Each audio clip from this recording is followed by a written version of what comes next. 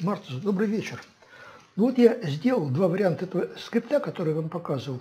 Вот то, что два стиля, это я вам показывал как раз в скрипте, что сначала идет разметка текста стихов, а потом, уже идут номера. Это, наверное, долго.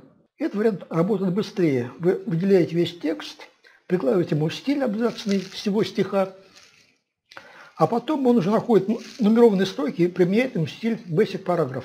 Вот тут они описаны. Вот до где у меня дело не дошло, так что эти строки уже не нужны.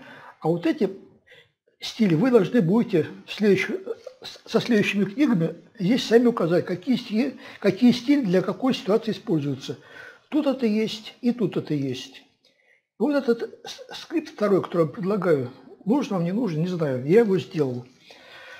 Тут тоже три стиля у нас. Абзацный стиль оформления статьи с номером, потом абзацный стиль описания песни и номера песни.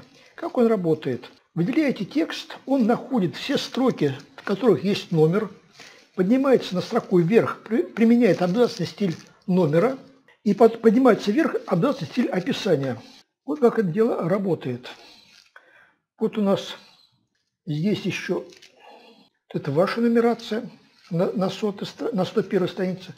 А здесь на 102 уже пошло то, что я делал. Вот идет 6, 7. Вот они здесь пока что у нас стихлайн. То есть все одним стилем выделено. Здесь на 103 странице. Вот тут на 106. Ну и так дальше. Давайте я вам покажу, как все дело работает. Выделяете какую-то область, выделяете, неважно. Запускайте скрипт. Вот song title.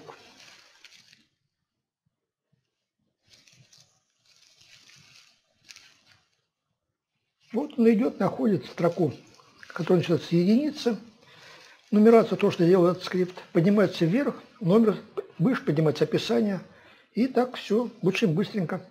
Гораздо быстрее, чем руками делать. Да, тут будет большая перерисовка. Покрутится курсочек. И все. Вот.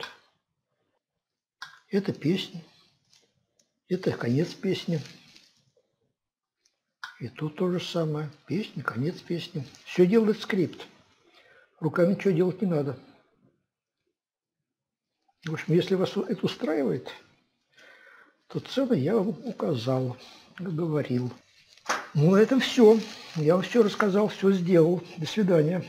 Если что нужно еще, обращайтесь.